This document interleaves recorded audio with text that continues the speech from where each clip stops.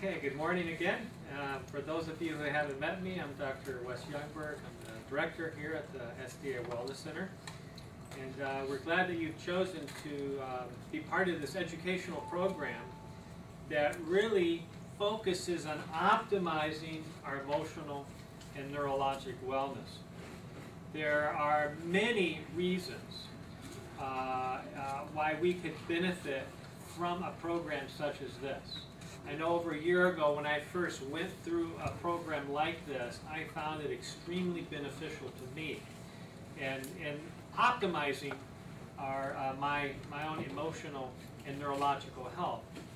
I, I had a grandfather who uh, developed Alzheimer's disease in his 70s.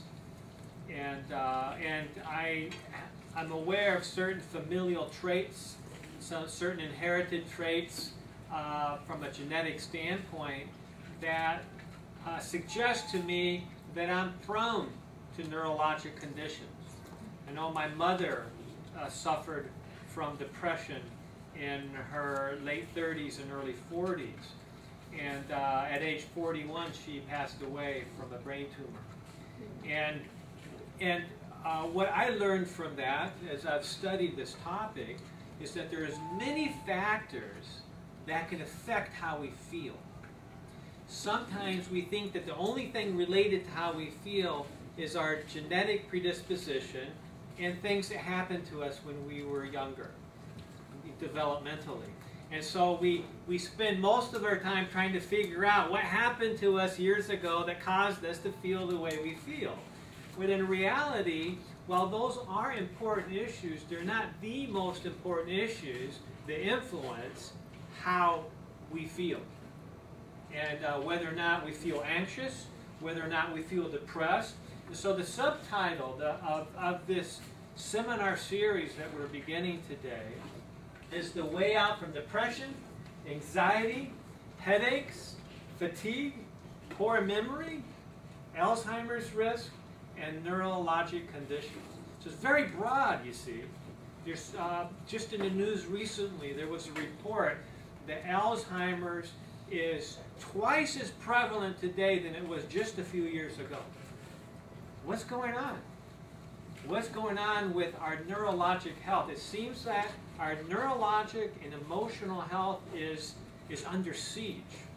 That there's so many things bombarding us from so many directions that more and more people are succumbing to the symptoms or the actual conditions where the neurologic uh, system is breaking down.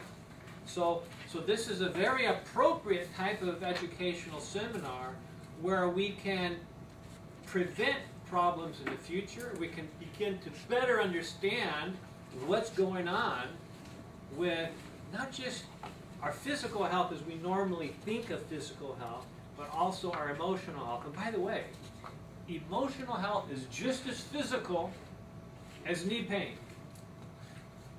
Most of us don't think of it that way. Oh, knee pain, yeah, that's physical. Oh, yeah, my knee, you know, that's a physical thing. But what's going on in our brain, how we think and how we feel is just as physical because it's based on the same physical, physiologic, chemical principles that pain in the knee or pain somewhere else in the body or other type of symptoms or problems are occurring. So many times um, people don't seek help for the way they feel because somehow they believe that it's associated with a character flaw. But really, it's no more associated with a character flaw than any other medical condition. It's, it's perceptions. We, we have misunderstood these conditions up until recently. Uh, so uh, this is uh, this is a very exciting seminar series for me because I've benefited so much from it, and I hope that you, uh, as individuals and your families, will also benefit from this information that you can take home and implement for yourselves and for others. So today we're gonna we're gonna introduce this topic, and we're we're really gonna take an inside look at what is affecting our brains. When we have a, a, muscular problem, we then ask the problem, well, what, what is it that's causing this muscular problem? when something's going on in our brain, we, we forget to ask that question. And, and we skip to, you know, taking a pill that makes us feel better without really asking the question, well, what's causing this problem or this symptom? And uh, so part of the answer to this is actually understanding the neural anatomy, the, the, the, the way the brain uh, develops and was created. So here we have an organ uh, that um, is very mysterious in many ways. It's um, a very complex organ. But the point I want to make here is that it is an organ, much like the other organ systems. And it can be influenced by many factors. When we have a liver problem, then we try to figure out, well, what's causing the liver problem, and try to fix that. Treat it, yes. But does the brain constantly deteriorate, or can we do something about it? We can definitely do a lot about our brain. And that's, we're going to be learning the strategies Oh, to, to address that. I think I'm past that point, I don't know. so the, the point here is that the brain is an organ system that is under attack environmentally, lifestyle choices, how, how we think about certain issues affects how the brain works. Many different factors come together to determine the way the brain works, just like any other organ system.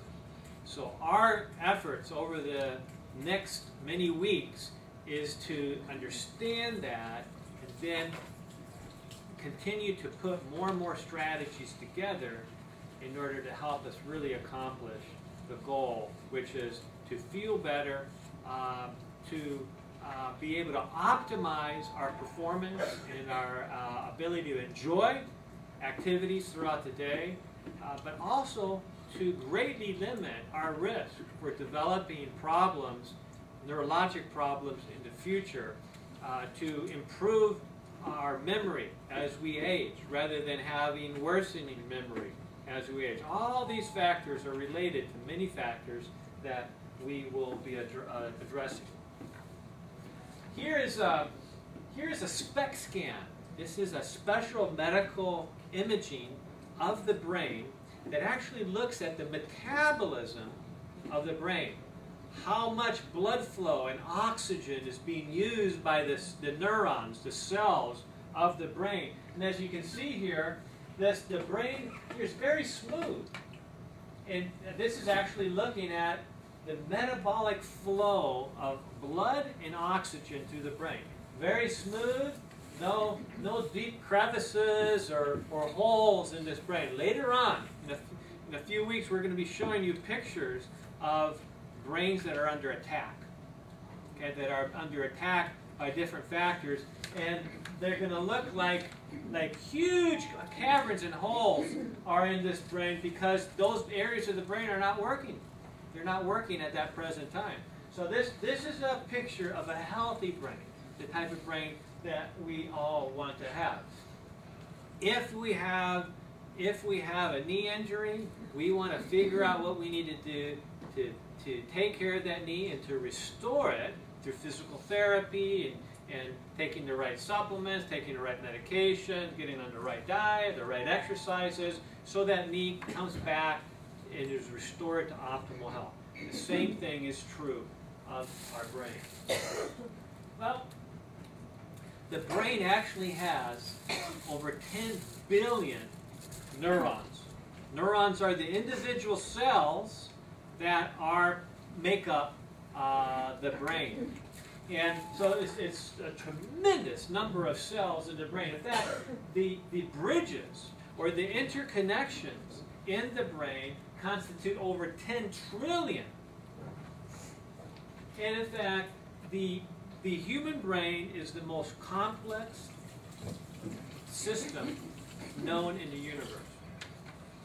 NASA or the, the Department of Defense have nothing that is more complex in, in, in its engineering and function than the human brain.